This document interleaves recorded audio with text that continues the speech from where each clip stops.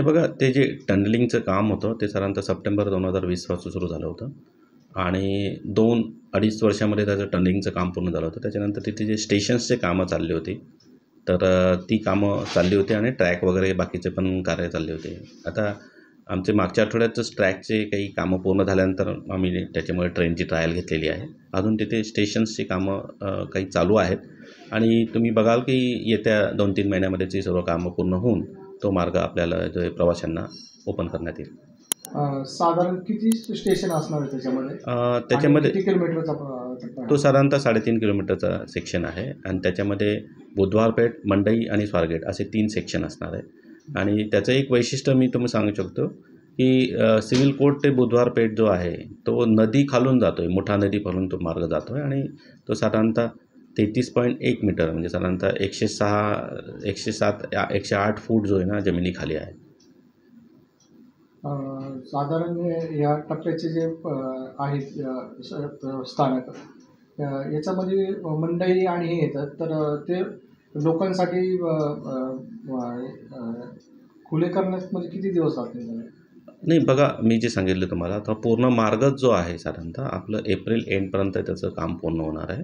आणि त्याच्यानंतर उद्घाटन झाल्यानंतर तो जो आहे प्रवाशांसाठी खुला केला जाऊ शकतो.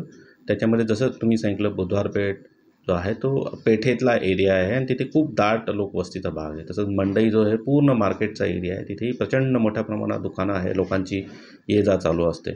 आणि स्वारगेट तुम्हाला माहिती आहे की स्वारगेटचं बस स्टँड आहे. तोही शहरातला अत्यंत महत्त्वाचा असा भाग आहे. त्याच्यामुळे हे मार्ग सुरू झाल्यानंतर लाखो पुणेकरांना त्याचा फायदा होणार आहे. सर हा टप्पा टप्प्याचं काम सुरू असताना जे टोटल हा टनेलमधून गेलेलं आहे याची यंत्रणाचं जी वापरली गेली कशा पद्धतीची यंत्रणा होती? म्हणजे हे बघा याच्यासाठी अत्यंत अत्याधुनिक असं टनेल बोरिंग मशीन वापरलं जातं. ते साधारणतः साडेचारशे टनाचं मशीन असतं. एकशे वीस फूट लांब असतं. आणि ते जमिनीखाली जे आहे साधारणतः सहा मीटर लांबीचे दोन बोगदे त्यांनी बनवलेले आहेत.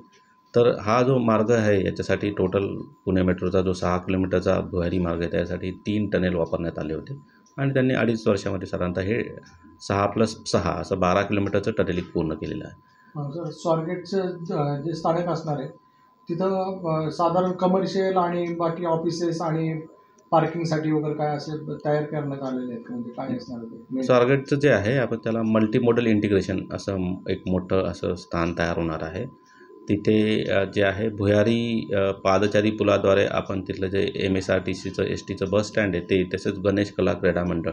तिथे आपण पादचारी जो आहे अंडरपास जे आहे पादचारी त्याच्याद्वारे आपण कनेक्ट करणार आहे. त्याच्यामुळे लोकांना जो आहे रोड क्रॉस करावा लागणार नाही. त्या व्यतिरिक्त तिथे पी पी पी तत्वावर जे आहे तिथे एक मोठं शॉपिंग कॉम्प्लेक्ससारखं मानण्यात येणार आहे.